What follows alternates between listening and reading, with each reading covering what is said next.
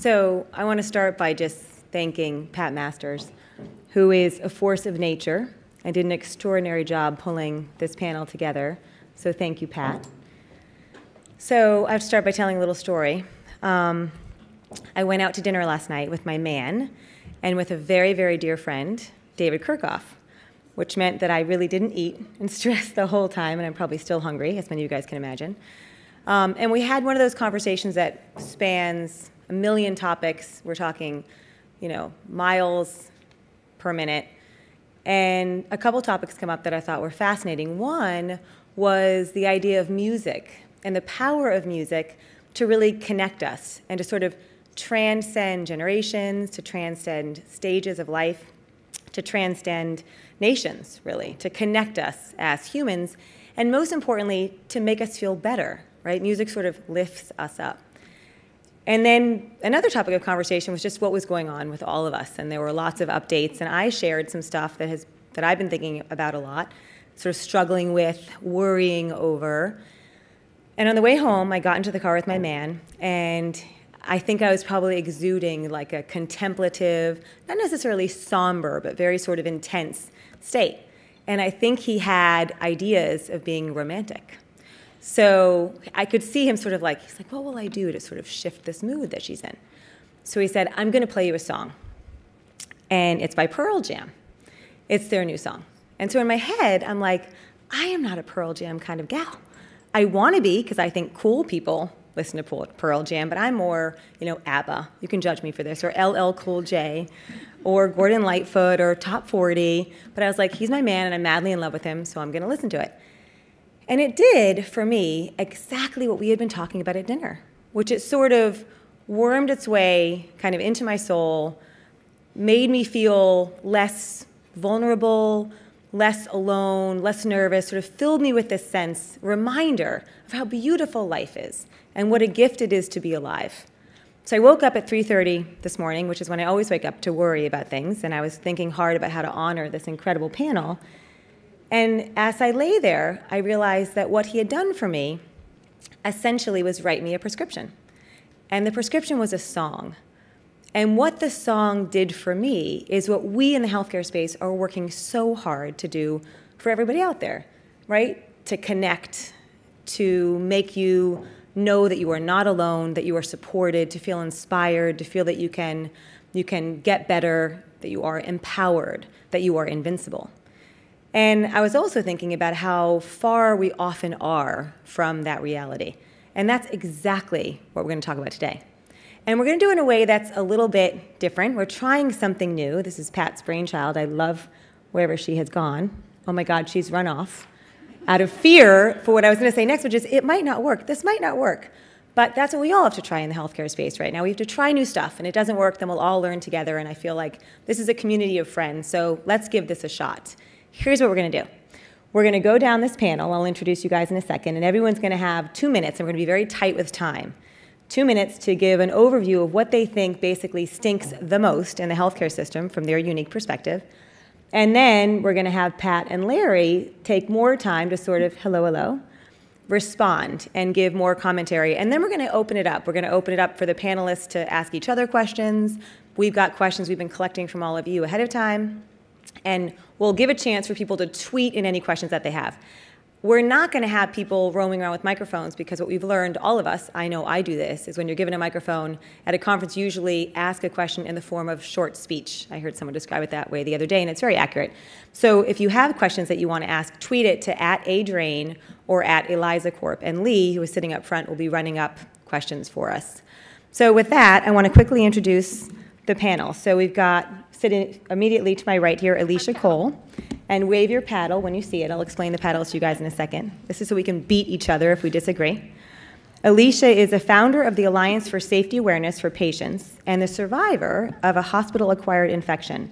She's really also serving on this role as the voice of the empowered patient who is working diligently to change healthcare. To her right, we've got Judy Flynn, who's a nurse. She's the vice president of patient care quality and the compliance officer at Partners Healthcare at Home, working with home healthcare. She's really here representing the voice of the nurse, but also the voice of the patient in their natural habitat, I'll call it, out in the wild. We've got Rebecca Onie, who is the founder and CEO of Health Leads. For those of you who don't know, they, Health Leads is really known for pioneering what I'll call a very unique approach to connecting patients to the basic resources they need to be healthy. This could be food, heat, safety. And she's another voice, I think, for the reality that so many people face out there.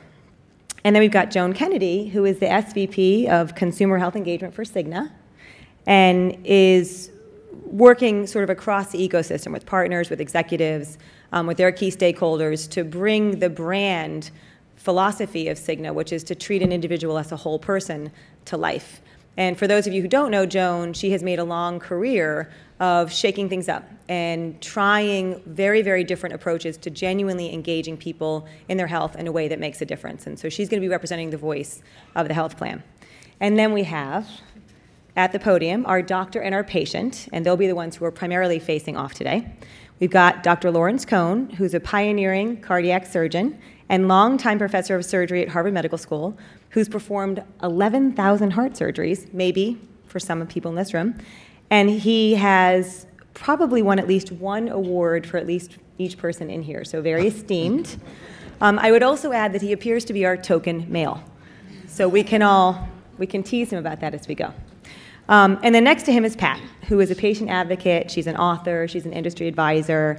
She writes, speaks, reads, thinks about patient engagement so much that, as she said to me very quietly, she thinks her family doesn't want to hang around with her anymore. They're sort of sick to death. I think that's probably true for all of us on some level. Um, she also has a long record of being able to engage people in active dialogue, and that's really the goal today. So here's what we're going to do we'll do two minutes for each then six minutes and six minutes, and then we're going to open it up for discussion. Remember that you can tweet your questions, and then as we're having the active dialogue, folks will wave their panel palette if they want paddle if they want to talk. So we don't have to. No one needs to feel like they have to answer. They'll just answer if they want to. So, with that, will you take it away for us, Alicia? All right. Great. So the question is, uh, what do you think stinks in healthcare, and what could make it better? Well, our healthcare system is home to some of the greatest technological advances and most cutting edge procedures in the world. But unfortunately, 2 million patients a year get hospital acquired infections during the course of receiving that care. And I think you just heard something about that in the last presentation. I was one of those patients. My two day hospital stay for fibroid removal turned into two months in the, in the hospital, six additional surgeries, almost having my left leg amputated, five months of hyperbaric oxygen chamber treatments at UCLA, a month, a year and two months of twice a day home health care nurses, um, three years with an open abdomen being packed every day, and for the last seven years, I've had at least two doctor's appointments a week every week, including physical therapy before I left to come here. I'm one of the lucky ones. Can you believe that? Because every year, almost a thousand people die from hospital acquired infections. And those are numbers from 1999, the IOM report. Last month, a new study was published in the Journal of Patient Safety that estimates that now the numbers of medical harm has reached 440,000 people a year who die from preventable hospital acquired infections and medical errors mothers, daughters, sisters, brothers. We've known since 1847 that hand washing is the number one way to prevent the spread of hospital acquired infections. We also have evidence based best practices. And as you can see from the picture in the top, that's me after my third operation of a multi drug resistant cocktail of infections, I'm not in contact isolation. So we see that we're not always adhering to those things. I think in order to fix healthcare, we need to work on ways to engage our providers. And then we also need to facilitate adoption of evidence based best practices, adoption of new innovations, and adoption of new technology that makes healthcare safer and saves lives. Thank you. Thank you, Alicia. Okay, Judy. So, Dr. Berwick said it very well this morning when he said that the majority of healthcare occurs outside of the hospital. And yet, when you look at how we're training our healthcare clinicians, they are being trained to take care of patients in an acute care setting. So, from a nursing perspective, the statement is, or the motto from a nursing school is, we're training them to be nurses at the bedside. Well, that would be nice if it was your nice, comfy queen or king size bed in your lovely bedroom, but it's not. It's that awful uh, small rubber bed with uh, side rails that we're teaching people to provide care. And so I think that what we're doing is we're really perpetuating a very, very old, old view of what healthcare is. And I think that the first place that we need to look is not only to change our current practitioners, but start with all of those practitioners that are coming out of school and train them very, very differently. The second thing I think that is really a problem is um, we talk about care teams, but when you think about that structure that I just explained, then what is a care team? It becomes a care team that's in the surgical suite, or a care team in your hospital room, or a care team in your, your physician's office. But it's not a care team that is taking care of all of you.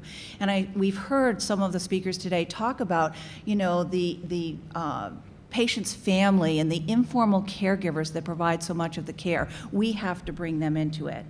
And then the other thing is doing and labeling. We do health care.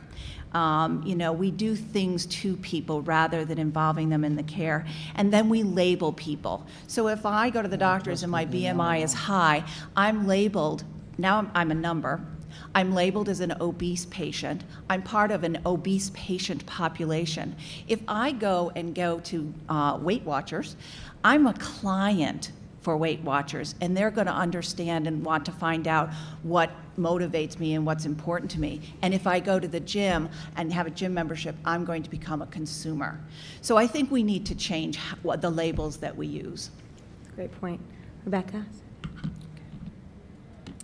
So, uh, Health Leads was born of conversations with physicians about this question of what stinks in healthcare. And what they um, basically said is, you know, every day we have patients who come into the clinic, uh, presents with an asthma exacerbation, but, um, you know, and I prescribe controller medication, but I know that the real issue with this patient is that there's no food at home. I know the real issue is that they're living in a substandard apartment with, uh, filled with asthma triggers. And I don't ask about those issues because there's nothing I can do. They'd say I have 13 minutes with each patient. Patients are piling up in the clinic waiting room. I have two social workers for 24,000 patients.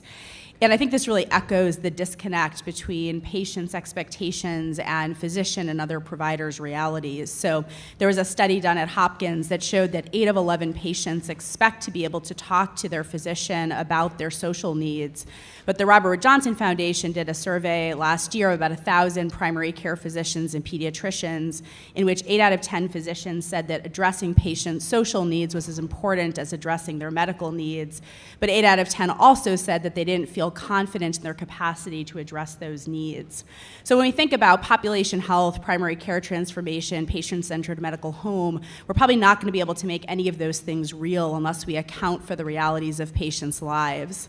Um, a few weeks ago, Art Gianelli, the CEO of Nassau University Medical Center, said to me, you know, I can, um, I can pull every lever against clinical care improvement, but I'll never be able to deliver the results that CMS expects of me if I don't have the tools to be able to wrap my arms around the realities of my patients' lives outside the four walls of the clinic. So HealthLead's model is really around enabling physicians, nurses, and other healthcare providers to prescribe basic resources like access to healthy food, safe housing, heat in the winter, the same way they'd prescribe medication. Patients then take that prescription to Health Lead's desk in the clinic waiting room where we have a core of well-trained and well-supervised college student advocates who work side by side with those patients to connect them to the existing landscape of community resources and public benefits. So uh, last week, for example, we launched at Mass General here, and now the physicians in that clinic and the patients can have a conversation together about not just what the patient needs to get healthy, but what they need to be healthy to not get sick in the first place. Thank you, Rebecca. Joan? So uh, we spend a lot of time talking about what, uh, how do we improve health, or how do we uh, get at the needs of a member. And I think what happens uh, is that we talk about aspects of their health, right? But let's just say we'll call this person Olivia. we our intent in the community, whether you're a health plan or an advocate or a physician community or a hospital, is to take care of Olivia. But as David talked about, it's difficult, right? So then we start to say, well, let's break it up a little bit. You know, I'm in the technology field. I'm going to create a couple apps to help her with her nutrition, or I'm going to help her walk. Um, in the medical field, we say, well, you know what, we're going to specialize and we're going to just deal with her cardiac disease or we're just going to deal with her diabetes and we're going to create specialty centers for her and we're going to create specific disease management programs at the health plan. And then we start to talk, well, we want to do some more around health and wellness and the, you know, the government's involved and then the employers want to create these programs and we're going to create special programs over here for her. And then we talk about her diabetes and how we're going to help her with her diabetes. And then we want to look at her adherence. So we're going to give her a bunch of devices to, to look at her adherence adherence and send her texts on medication compliance. And then we're going to ask her to wear a bunch of things to, to assess how she's doing. And I think what we've all done with good intent is actually created a very fragmented, um, non user friendly environment, whether it's through benefit designs and the structures that we create, or through how we fragment care and how we deliver it, or in how we create very fractionated sets of technology to support it. So I think if we're going to solve the problem, and we've got to go back to sort of what David said, it's not easy, right? There's many variables that make an answer um, holistic for a person, and we've got to go back to that person and the entirety of their life and solve that problem and bring that fractionalization together to help Olivia live better. Joan, that's great. Thank you. Pat? oh, no, Dr. Cohn, yes, please. Oh, so it's only four against one instead of five against one. We're just, she's going to back clean up. That's okay. Well, all of you have pointed out some terrifically important points. Let me, uh, this may not have any special order, but let me just talk about it. First of all, as far as the infection after surgery, there is no procedure, there's no intervention, there's no operation in any facet of medicine in the entire universe that has zero risk. There, I mean, you can go to your get a haircut. The barber could cut your ear off, you know. Um, so, it, the patients sometimes don't understand that that there's not zero risk in any procedure that occurs in a, in a hospital or a doctor's office. Having said that, however, we should do everything possible to reduce these infections and reduce these kinds of uh, situations. Certainly, in our hospital at the Brigham, we have this hand this hand wash hand cleansing campaign, and if a doctor does as goes to an ICU and is seen by the, the ICU nurse not cleansing his hand before he or she goes into the room, they are called out. And if you keep doing it repeatedly, you may have to take a break from your practice for a while because this is a very, very important thing. If, however, this is related to inappropriate sterilization of equipment that uh, may have happened in your case, that is a no-brainer that the hospital should A, apologize, and B, should recompensate the patient, the hospital bill, and any expenses out of pocket that they, th- and sometimes these I are wish he gross was things my that can't. doctor. What's that? I wish you had been my doctor. That doesn't. I thought you said lawyer, I'm sorry. Uh, A second item, so that, that's, the second item that a lot of you uh, folks have mentioned, which we believe in very strongly, at the- I believe in very strongly at our medical school at our, at the Brigham, is the service line concept. And uh, a few uh, years ago, I, I talked to a retiring dean at Harvard Medical School, and I said, Dean, you know, we've had the same model at Harvard Medical School since we started in 1782. We have a chief of surgery, a chief of medicine, a chief of pathology. We nowadays really should have a chief of uh, a departmental chief of cardiovascular disease, a departmental chief of neurosciences, of GI disease, because the service line, that is the medical, surgical, interventional people in a particular specialty, they really work very, very closely. So one of the ways, as you all know, there's tremendous pressure to reduce costs in medical care. And one of the things we do, we have a, a, heart clinic where we'll have the cardiologist and the cardiac surgeons in the same clinic.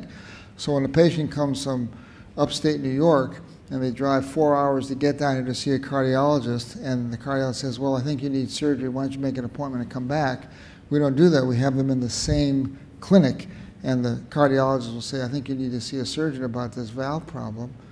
And then the surgeon's in the next examining room, he'll be right out to see you because this will, A, will save money and save time and convenience uh, a heck of a lot for the patient. I think decreases costs in any of these organ system related departments, which I think can be uh, very, very uh, important and, and very cost reducing and very convenient for patients.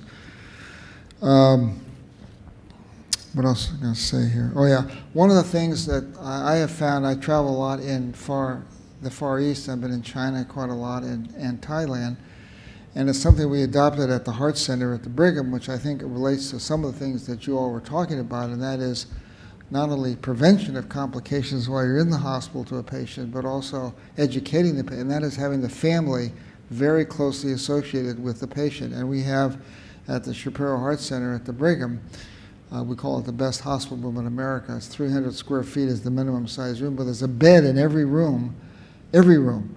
And a patient's loved one, a family member, can sleep with the patient from the day they have the, their operation to the day they go home. And this has been enormously helpful in helping uh, educate the patient, making sure the patient does the right thing, making sure the nurses do the right thing for the patient. They don't give them the wrong uh, drug or something of this nature. So I think more involvement of families in the health care of the patient is just, especially hospitalized patients, I think is, is essentially uh, a very, very important thing. And it helps the patient, it helps the doctors, it helps the nurses, and most importantly, it helps the, the very stressed out uh, uh, families. Uh, the other thing is that, again, we've got to reduce costs, and we don't want to belabor that, but everybody knows that's pretty important these days. Uh, there's tremendous pressure on all of the physicians and all the hospitals, and we want to reduce cost. But one thing I think we need to do, and this is very debatable, but I think we need to talk to all the major organizations of every specialty in the, in the, in the country. This has never been done, by the way, and sit down with the payers and say what should be and what should be not be paid for. And I think this would help a tremendous amount because unnecessary procedures, the wrong procedure. There was a paper, there was an article in the Globe today actually on urologists doing uh, oftentimes the wrong procedure because they own the facility on which the procedure was done and they got money for it. But the, or, the major organizations, the American Heart, American Cardiology, American Orthopedic, should sit down with the payors, government and private, some of you here, and say, this is what you should pay for and this is what you shouldn't pay for. And I had a patient about two years ago, I was telling that, uh, who had had uh, a coronary artery problem, and a practitioner had put in 10 coronary stents in one artery, and the patient was still symptomatic and still needed an operation. That's bad. That's just being done for money, not for the patient. So I think if we have these kind of rules and regulations uh, related to the payers and what should and should not be done, I think it would help to decrease a lot of costs and just do the right things. Thank you. Thank you very much. Pat. I want to talk about um, patient engagement as a potential solution for a lot of the ills in healthcare because it would be so wonderful if every patient across America could have you as their physician and the Brigham. Okay, that's good. Okay, it's all set. We're going to do cloning next and we'll be all set.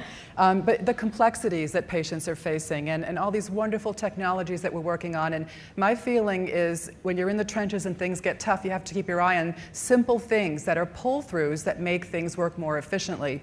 So I'm going to tell you a little bit, a story about how I got there and, and what I think I learned that can help this conversation. Um, first of all, very few of us are bigger than money, and as long as we're doing incentives that are pay, pay by procedure, we're never going to have significant change in the healthcare culture. So let's be honest about that. That stinks, but, um, but the good news is the change is coming, accountable care, and the concept behind it that we care about outcomes. Um, so that's good. And um, all of those efforts can benefit greatly from what's possible and what's not possible about patient engagement. I became a patient engagement evangelist, which is pretty much explains how, how much I try to work on it. That was after the death of my father. He entered the hospital seven years ago for a surgery on his neck, and he died six months later of complications from a hospital acquired C. diff infection, which the whole, if you know anything about that and the trajectory of that disease, it made no sense to me. And um, it opened my eyes to the question what can the patient and family do in the healthcare setting to make a difference? So this spring, um, I got to answer that question, explore that question more closely than anybody wants to. Um, and that was when my 26 year old daughter, who hiked the entire Appalachian Trail last year, 2,200 miles from Atlanta uh, to Maine, suddenly couldn't walk. Um, she was diagnosed with a rare and paralyzing nerve disorder called Guillain Barre syndrome, or GBS. Um, hers came with crippling back pain. The paralysis starts in the arms and legs, and in one third of patients, it goes to the chest, and they can't breathe, and they have to go in a breathing tube in intensive care. And some patients die. Over the next days, um, paralysis took away most of Jess's ability to walk. Um, it impacted her swallowing and it stole her smile. Um, despite her positive prognostic factors that she was young and healthy and that she got treatment in the right window, we were told to be realistic that it would be six months to a year before she would recover. Well, we knew, and I'd known from my work, that um, during care transitions and staff rotations, these are when things fall through the cracks. So I stayed, we stayed in her room all day and all night we gathered research from my patient advocate network. We Googled everything. We wrote things down. And then we distilled from that what were the disconnects so that we weren't running to our medical team with sheets of research. We wanted to make sure that we were adding to their body of knowledge or at least res- respectfully asking if we, what do you think of this? And the result was amazing. They stepped up their game. They, uh, they did more research. They asked our input when it was time to make a decision. We really, really worked as a team. But during those times when the widgets of care become the, the preoccupation, people are busy and they say things like, I'm sorry, but it's shift change, or um, that's not my job. I saw how our single minded focus on the patient compelled them to connect with their, their innate mission. I saw this happen many times. Um, that was my daughter in the hospital. For example, one day, Jess was away from her floor she was um, finishing up a sonogram and going to an x ray. And she was in pain, and her pain meds were overdue. And I said, how long is it going to take because she's in a lot of pain? And the technician shrugged and didn't look up and said, it depends how long it takes for transport to get here. And the chief of radiology, who was hovering nearby, said, why don't we take her? And guess what happened? the technician pulling up the rear of the gurney said, oh my God, I've never seen the chief of radiology move a patient before. And it was as if God was moving a patient, which is why I took the picture because I almost couldn't believe that I saw that. Um, in that moment, of course, we were ridiculously grateful for this kind act. But then I thought, how sad that this small act would be extraordinary for being so unique. And I thought, what about the next patient that is in agonizing pain and has to wait till transport gets there? And what if you know, we weren't so lucky that this was just, just about comfort and dignity um, instead of life and death? So clearly, this points to a problem that we have. Now, I believe we can regulate and we can uh, legislate and we can guideline everything, behaviors, until we're blue in the face. And at the end of the day, it doesn't work. So, how, besides financial, big fat financial incentives, do we compel good behavior? If you want to build a ship, don't drum up people to collect wood and don't assign them tasks and work, but rather teach them to long for the endless immensity of the sea. And how does this relate? Well, it's impossible to quantify how much our engagement and, uh, and theirs, which was significant, impacted Jess's care. But I can tell you that there's a study of GBS patients with Jess's exact treatment protocol. The average hospital stay was 23.1 days. Jess was out in seven days. And then we took over her rehab at home. And this was her shortly after she got back. You can lower that audio, Ian, if you want. That's my husband trying to tease her. Clearly, she's having trouble. And then three weeks after it all started, I took another video of us on a bike ride. And um, in the end, Jess recovered in half the time, half the minimum time the doctors insisted that it would take. A local reporter called it a miracle. Um, but I think it speaks to many things, including the earth moving forces that are released when the medical team and the patient and family engage with their A game. And it's at this interaction that we have magic moments, and doctors and nurses have more joy at work, because these are the outcomes we all want. Now, earlier I alluded to what isn't possible with patient engagement, and there is, in fact, a lot. Because though you can create the best tools and most intuitive apps and most user friendly blue buttons, you cannot make a patient engage. No way, no how. We're as individual as our fingerprints. Some, like me and Alicia, are crazy for it. Other people, no. No way. So, how do you know what engagement I want or what he wants? And how do you give it, us each exactly that? You could simply ask us. I would happily have filled out this four question questionnaire asking about my engagement. How motivated am I? And then you would know that I'm a 10 on the motivation scale. I could be invited to be part of the patient involvement study. Or maybe you'll learn another patient is highly motivated but needs skills and resources. Now, if you also have an accountable care organization, how valuable is it to you to know about these patients? Would you be interested in serving them um, before everybody else figures that out? Just a thought. Now, there are many patients out there that are like me and want to help if only you ask. And who knows what's possible, but I think it might be intoxicating to find out. Thank you. Thank you. So, something that always strikes me um, at events like this, I'm sure you guys feel the same, is I'm just so grateful to work in this industry and to work with people like you guys, right? Like, what an incredible bunch of stories. And something that we were really trying to do with this panel today is to break down what I would consider sort of silos that often exist when we talk about what's not working and what to do differently. In that we like to sit with like minded people, and I always sort of term it like admire the problem. And what we're trying to do on this panel is what you just perfectly saw represented, which is we sort of went from very different viewpoint to very different viewpoint. You know, the reminder that behind every number is a patient, there's a story, there's a real person, the concern about labeling. Um, and, and how to think about that, which we'll dig into in a second.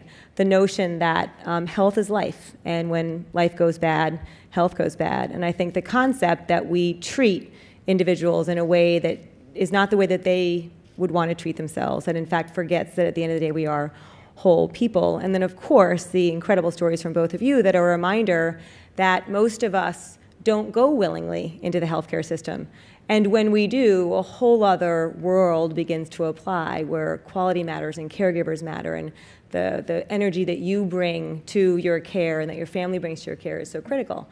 So I want to remind you guys again, if you have questions, please tweet them to either at adrane or at Eliza Corp. And I'll just kick it off with asking a question, and let's have some fun with these paddles. So if you want to answer the question, just raise your paddle. This is open to anybody to answer. The first question, um, I think, was brought up by Judy, which is, do we think language is important in healthcare? For example, the term diabetic. Um, my favorite is the word patient. And I would encourage all of you, for fun, just look at the definition of patient. It includes um, one who is acted upon. Its synonyms are sufferer and victim, and it comes, one of its originations is a Latin for the term um, to suffer. So I want to throw that out to anyone who's interested diabetic, patient, any of these terms that we use. Does language matter? Does it impact this divide that we're talking about, this opportunity to do a better job treating the whole person, helping with quality? Any thoughts? Yes. No, I'm going to say that one of the main things it does, I believe, is it really changes the dynamic. Because as soon as I look at myself as a patient and you're the physician, then I'm already in a position where I'm, you know, needing you to fix something for me. I'm not empowered. I'm not feeling like I'm going to be part of something. I'm going to be having you do something to me. So I think that it really is something that uh, impacts the dynamic. Yep, I would agree. Other thoughts? Yes. Well, I'm a long term patient, and my philosophy is you can call me anything you want, just don't call me late for dinner. um, I feel as though when I'm a patient, I want you to know that I'm suffering, and I want you to know that I need you and that I'm vulnerable. So, as long as you wash your hands, you give me the highest quality care that you can. It's not what you call me, it's what I answer to. I think uh, terminology and names is extremely important. There's a whole new group of health caregivers called physician's assistants that are now working in hospitals all over the country. And these are going to be very important for the accountable care because they're going to do a lot of after the hospital work. So I think it's important to know they're not doctors, but they're patient. They're, they work with and for the doctors, and they're our agents, and they're very important to give the your complaints or give the symptoms or whatever so that they can be transmitted as a, this is revolutionizing a lot of healthcare in many areas. So I think identifying with names who the people are, so there's no confusion uh, about who's who and, and, and who's saying what to whom, and it's, they're not taking the place of a nurse, Yeah. but they're working as part of the team. And so things, I think these terminology things are very important, in my opinion. One thing I will say as a patient, though, um, I started a production company and it's called Patient 25 Productions, and I do videos for patient safety. And uh, being in the hospital for two months, it's very disconcerting to have someone refer to you who's standing there and talking about you about, well, patient 25 in bed B, you know, and they're talking about you. I've been here for two months. You know me. My name is Alicia. That's Betty and Ron, my parents, right there. Please call me Alicia. Please refer to me as Alicia. And uh, I, now, in that sense, I do have an issue because it dehumanizes the patient and it allows there to be that distance, that disconnect, that disengagement from Yeah. the patient. So while, you know, in terms of labels, oh, you're the doctor, you're the patient, I don't have a problem with that, but I do have a problem when you are referred to in a healthcare system as patient 25, Well, patient 14. And I think part of what you're getting at, that I think we're all getting at here, is central to what we're trying to fix in healthcare overall, which is the notion of choice, right? We should be able to choose the label that we want. And there are probably times when each of us have, have very welcomed being part of a system that is acting upon us because we are in need, because we are not at a place where we feel that we could make good decisions for ourselves. Um, but there are a lot of other times when those labels that are put on us um, can be harmful, right? And, and not be how we want to project ourselves. So I think keeping that awareness as we're going into any situation about how would this person define themselves and leading with that, I think is key. Um, a follow-up blank question is, do most physicians really think of patients as partners? Does anyone want to take that one on? As what? Do most physicians really think of patients as partners? Pat? Maybe I should defer to my esteemed colleague first. Go ahead, if you want to say something, go ahead. Um, Uh, by the way, I would say, I would call her Mrs. Cole. Mrs. Cole? Yeah. Okay, all right. Um, what I found is that we need to establish um, a degree of respect, um, which is very difficult for patients and families when they're in the throes of a serious situation. So, when one thing that I, I didn't mention earlier is, you know, how do we find these engaged patients? How do you find Alicia or somebody that is going to be emotionally intelligent, who is going to elevate the physicians and the team's game without being strident and needy? And I hate to say it, but that's a fear that all medical teams have is that they're going to have that needy patient. So what happens is if you get a few of us, you don't need a lot. You get a couple in your hospital and you give them the, the you vest them with the power. Hey, you know what? You sign, you give, you're a 10 on our scale. Do me a favor. Call, you know, fill out this form. Can I call you later or even in real time? Let me get feedback from you about how we're doing things. What you're going to do is up the game for everybody. And, you, and the outliers become more exposed and they get uncomfortable eventually and they leave. And that's Yeah. how culture change can happen using patient engagement. So once we get to that point where we have elevated the conversation, now we can start to talk about partnership Yep. and, and respect, which should be mutual. Yes. Well, the patient, I don't call the patient a partner, I call the family a partner. Because I think the family can partner with the physician and the nurse and the, and the PA to make the patient better. The patient is the object of our work and our interest, not the partner, but occasionally there's some very, very uh, alert, bright patients that can give you some interesting information, but mostly it's from the families, which is very good. Those are the partners that I work with in dealing with the patient because they know more about the patient sometimes than the patient knows about his or herself. and thank God. And uh, uh, we think that's very important. That's the partnership that I, that I believe in is most important, is that the patient sometimes may be so sick they, they can't really tell you everything that's really uh, uh, pertinent.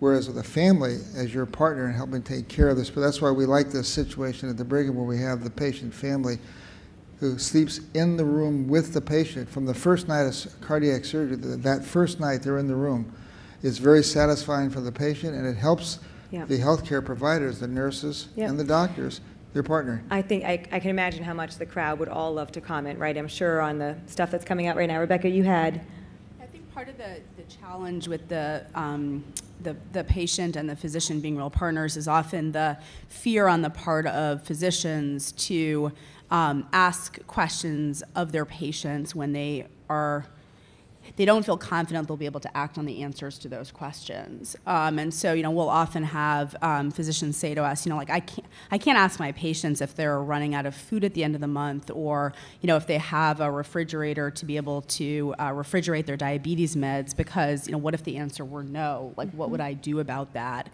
And at the same time, you know, what, what we see at Health Leads is we constantly have patients who come to us, you know, where um, you know they were just told that their child needs a nebulizer, but you know, their, their electricity hasn't been turned on for six weeks. And, you know, so the clinical care really becomes kind of a, a tree falling in the forest and never becomes real for the patients as a result of that.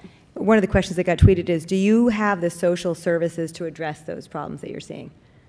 Yeah, I mean, what we um, have found is that there's, um, in most communities, a quite robust landscape of community resources and also public benefits. The real barrier is around um, information and connectivity, and really being able to help, you know, the same way patients need navigation to be able to successfully access um, and be full partners in the healthcare system, they also need support in navigation and accessing those resources. So, you know, managing language barriers, transportation Yeah. barriers, bureaucratic barriers that may arise. Okay. Um, Joan? Well, I think the other thing that's interesting is yeah. that so many patients uh, or consumers actually have benefits that they don't even know about that do that. So most, most companies buy EAP benefits, which have extensive local community networks by city, and everybody has a stigma of EAP, right? And, and actually, it's, it, it is, we should call it like life solutions, and it shouldn't have the stigma, oh, you're the alcoholic who got sent over there, you're the person who had an anxiety breakdown. It's really not. So I also think there's ways to help you know, consumers understand the services that they can access, take the stigma away from a lot of it. A lot of the work we've been doing on the vulnerability index with, with Eliza is, if someone's stressed, help them use the benefits that they have to maximize stress reduction so that they can then maybe focus on their health. Because while they're stressed and they don't have, you know, electricity, they're certainly not going to be focused on their diabetes. Yep. And I think, um, actually, you know, what you're saying in terms of you have a few social workers in your office, um, this whole thing of the team across the continuum, uh, wouldn't it be great to really be able to engage all of those community resources to be part of the team rather than to have a social worker in your team that's referring to them? So it's, it's connectivity, yes, but it's also really rethinking the community and what those resources are and how we utilize them. Yeah, yeah. I agree with that completely. Um, when I left the hospital, uh, and, and I think this is an area for opportunity at the discharge planning, and we know that discharge is becoming increasingly important because of readmissions. Um, when I left my hospital with an open abdomen that stayed that way for three years, and I asked for help, is there a support group? Is there something? They gave me cancer survivor information, and yes, you know, I had nine of the strongest antibiotics on the market and two types of chemo, but I wasn't a cancer patient, so mm. it wasn't the same type of support system. So I became an engaged patient and an advocate for myself in trying to find those kinds of resources. And when I do patient advocacy and, and workshops for patients, I let them know mm. there are, there are community resources like Independent Skill Centers of America and Independent Living Centers of America. And I think we need to re educate our um, discharge planners and our, our hospital based um, social workers to think outside of the box because Yep. so many times they're just giving you standard. Well, and let's, yeah, I think that's true. And one other thing I'll add quickly, and then we'll go to another question so we can keep moving, is, you know, it's when people are in need, we're talking a lot right now, people who come to the system because something happens to them and so they need help. And when they come to the system, then we need to broaden our definition of health to include these other factors and address them. But I think as importantly, all of us have to remember that people who are in need often don't have the capacity to ask for help. And so it's really important as we're designing programs to go out into the community virtually, physically, and get a hold of these people and let them know that this stuff exists because otherwise they might not ask for it. I want to ask a question that might be controversial. David, you um, got at it before. Do you think folks who are not hitting health metrics like BMI or blood pressure or who may be smoking um, should have to pay more? Anyone want to take that hot question. Joan? Well, actually, the PACA healthcare reform legislation is enacting incentive designs for just that, right? So on the consumer side of it, now it'll depend upon whether employers actually activate it, but in the legislation going live 2014, 30% of your employee paid contribution can be tied to um, clinical outcomes measures improvements like blood sugar reduction, um, you know, hypertension, cholesterol, weight management, body mass index, smoking. They put it actually at 20% on smoking. So, um, and I think what you're going to see, and you can actually take up to 50% of the contribution tied to process measures. So, the int- so yeah, whether we agree or not, the intent of PPACA is to hold the consumer accountable, hold the physician accountable through an accountable care structure, and pay for value, and have active, you know, you know, in, active patients involved. And if they aren't, that they will probably pay more. Anyone else want to take that? Well, I, I, I, tend to, I, I know where you're coming from, but a lot of people that sign up for health insurance the first time, they might be smoking, they might be overweight and this and that. They've never been told properly not to do those things. I mean, I, I have a, a friend as a cab driver that I go with to the airport every now and then, and I told him, why are you smoking? I said, well, no one ever told me not to smoke. I mean, I don't think there's enough of this kind of thing from the payers and from the primary care and the doctors of all kinds, how horribly destructive smoking cigarettes are. And it just should be told. But I think the first time people sign up for insurance, oftentimes they really don't understand how risky these factors are. I'm going to, I'm going to poll the audience quickly. Do you guys agree with that? Do you think the average person knows how dangerous it is to smoke? Raise your hand if you think so. I think that's it. That would be a, an interesting debate to get into just in and of its own, right? What is the awareness of health risks? Pat, what are you thinking? Well, I just think, you know, in line of um, some of the clients that maybe Rebecca sees um, in her organization, um, I'm very privileged that I went to schools and had a family culture where I knew I know the connection um, between lifestyle and some of these health problems, these chronic health problems. And it's very easy for me to, to say, you know, I mean, my mother's a smoker and I don't judge anybody for it, but a lot of families never either had um, role models, they don't, they're not taught in school, or they don't have fresh food in the grocery store in their inner city. And so I think we need to switch the whole accountability model where at, at, every level, that kid in grade school, because school is where we can capture most kids. Why do we teach them about STDs when they're 11 years old, um, when they're much more likely to die of getting in a, you know, in a bike accident and having an infection and dying? So mm-hmm. we need to teach health literacy, I think, in the schools and have this, this overview where the accountability is built into the fabric of all of our infrastructures. And that way, um, we're not, you know, it's not a surprise when you're 26 signing up for your first health plan. Yeah. Yes. Well, just to go on, on the end of it, Yay. nobody clapped for me. That's for you. Once having told them that, then when they come back for, you know, for sign up for the next year, they better be off the cigarettes and weight reduction, or they will. I do believe they should be penalized. Yeah, Rebecca? And then I'm going to ask one more question quickly, which will go because I think we're basically out of time. So we'll go fast on the last one. Yeah, I mean, I think you know we, we often encounter the classic, um, you know, the doctor says to the patient, "Your daughter's at risk of um, becoming obese. She should eat healthy and exercise more." And that's kind of the entire conversation. And then the patient will come to us and say, um, "You know, I'm running out of food at the end of the month." And you know, so I think the question is sort of how do you um, Robert Wood Johnson Foundation has this great language around how do you make the right choices easier. So a lot of our question is, you know, can you make connections to these resources that patients need in order to be able to really assume responsibility for their health as routinized as any other subspecialty referral. So, you know, you can refer them to the cardiologist, you can also refer them to the exercise program, and those things should be equally seamless within the system. Okay. Um, one last quick topic. I'm so glad that this slide is up here Pat, you just worked your magic to make that happen. Thank you. So, something that I think is really interesting, I've been at a lot of conferences in the last couple of months, is how infrequently we talk about end of life and advanced care. And you're looking at an area that both really matters to all of us as humans, right? To do that end of the life and death continuum better, and a place where, for the most part, we don't do well, and there's a lot of cost associated with that. 70% of people want to die at home, only 30% do.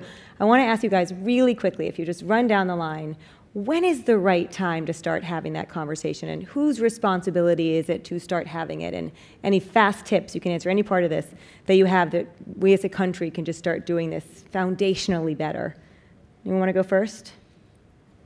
Yeah Me? Yes. Um, well, I love this slide, and uh, in full disclosure, this is a project that Alex Drane has brought about. It's called Engage with Grace, and it's five questions on one slide that we're all invited to put at the end of our presentations to prompt the conversation. We need easy ways and, and you know, ways that are out there in the ether that people, oh yeah, I heard about that. So when you bring it up, hopefully not at a critical time, but it is not painful. Um, we had a wonderful conversation with somebody uh, who is doing videos. So because a video is so of a person expressing their wishes is mm-hmm. such a conversation stopper for all the siblings that might be arguing of what did mom really want. But this tool I love because it is easy to implement no matter what your venue and and we need to talk about it because as long as medicine is incentivized to keep us in that bed and we die in the unfamiliar surroundings away from everything that's comforting, and it shouldn't be that way. That last mile should be a beautiful thing. Yeah, So thank I you. thank you for the work that you've done to thank bring you, that. thank to- you pat and thank you for, for, for raising that thank you joan So I- agree with Pat. I think actually we need to start health literacy when children are extremely small. I mean, I've been in healthcare for 20 years. From I ran a diabetic company, and I took the kids to see what the drugs were and, and how this distribution, and, and taught them about what how you get diabetes, and they have a lot better understanding for nutrition and exercise. And I think if we don't start educating kids about what it means to truly be healthy, what a proper plate is, and then take it throughout life, right? On the other side of life, as you know, my, my five years ago, well, a year ago, I had this conversation with my parents, and we've been having it for 10 years. And they just last week moved to Florida, so we can set up an entire system for them to be able to take care of them. And we did this this discussion together that we're taking to the medical community, um, and we found the proper medical community to administer it. So I think it needs to go multi-generational. It needs to start when children are young, Yeah. and it needs to Great be point. a not a taboo in, in your in your family. Yeah. Um, and I think it needs to be not be a taboo in the medical communities either, right? I think it needs to be an open discussion. yeah i love that who else No, um, I totally agree. Uh, I actually had the experience with my family that uh, my father was a minister and he started talking about these subjects very early on. And when we would even talk about news and current events and things like that,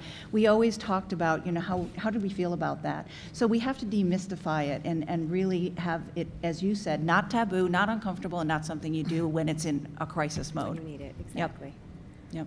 Absolutely, because I think, especially, um, I, I think it's something that should start well before an event or an illness. But in the event that you do have an acute illness, or if you're just going into a facility for an elective procedure, in light of what we know about the chances for medical harm, I think at that point you definitely need to have that conversation with your loved one. Who's going to be there to assist you in the facility, to help you, um, and to let your providers know that that person can listen in to discussions and, and you are waiving that HIPAA privilege with your loved ones. And then what do you want uh, in terms of end of life care and, and heroics in, in the event that something should happen? So if it's not a discussion that you've already had with your family, um, definitely before you have any kind of procedure done. Well, and I, I just add to that quickly that something for all of us to remember is not only do we need to have this conversation with our family members, but then we have to commit to standing up for them and what they wanted, and you know making sure that their wishes are honored because the system often doesn't know how to do less, and if that's what somebody's wishes are, someone's going to have to advocate. I'm going to. If there any, aren't any other closing comments, thank this panel. You guys are extraordinary. And then tell the audience, because I'm sure you all have a ton more questions for them. I know that I do, that the Global Health Delivery Project at Harvard has actually been working with Dr. Joe Kvedar and his team at the Connected Health Symposium to host a one week web discussion with select speakers and experts. I know, for example, Pat, that you're going to be part of this. The panel starts next Monday. You can sign up now, it's free. Go to ghdonline.org. So it would be great if you could go sign up, join this conversation, throw a lot more questions at the people who are there. The speakers are going to discuss patient perspective, how we can leverage technology to improve the delivery of healthcare, and the relationships with doctors, as well as what IT solutions are being developed for health providers and clinicians. So, big round of applause for the best panel. Yes. Wait, wait, wait, wait a minute. Uh, Wait a minute, there's one other thing. If uh, Alex could take just a minute or two as a public service announcement and tell you about her work with the Coalition to Transform Advanced Care. It just seems relevant to me. Oh, that would be great. Thank you. So um, there is, I think, an increasing sense, maybe because of the silver tsunami, maybe because so many of us have had experiences that didn't go well at at end of life for a loved one, that this is something that we need to fix. Incentives are changing. More and more organizations are getting behind. Maybe it's okay to start talking about this stuff. Maybe some of the taboos are going away. So there's a group called the Coalition to Transform Advanced Care, which Joe is a part of. Thank you. Um, Joan is a part of. I'm a part of. We invite all of you guys to join. It's basically um, sort of a big tent, and our philosophy going into it was if we're all together under this tent, then nobody will feel isolated for beginning to really push this notion that we have to start having this conversation as a country. And we have to have the conversation early and often because our answers will change. In addition, we have to start understanding what best practices are and how do you care for someone who's in an advanced care situation. So the organizations that are part of CTAC include um, big health plans, big integrated delivery systems, big employers, big patient advocacy groups like AARP, big associations like the American Hospital Association or the American Cancer Society. And there's a lot of information. There's a website that's launching soon. Um, if you just Google CTAC and keep an eye on it, you'll be able to track it. And the notion is to deliver resources really across the country to let individuals who are patients, let individuals who are caregivers, let individuals who are practicing physicians or financial assistants, um, uh, financial recommend the folks who work professionally in the financial services world to give them all tools to help do this better because I think increasingly um, this will become a reality for all of us that we all know we could do so much better. So, Joe, thank you very much for letting us. So one other thing I would like to ask Alex if she would be willing to provide uh, a summary paragraph or something like that. We will get it out uh, to all of you. I know you have an event coming up in November. Yeah, we do. I'm happy to do that. Thank you. Thank you Wonderful so much. panel. Thank you.